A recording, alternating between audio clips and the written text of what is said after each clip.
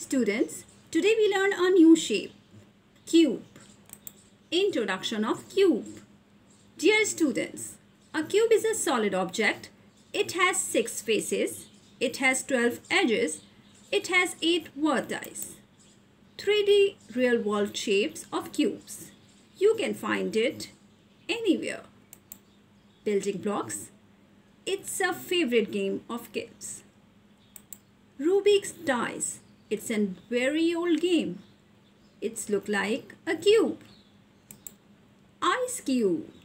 It's available in your freezer. A cube-shaped basket. Wooden alphabetical blocks. A dice has a cube shape. Gift boxes.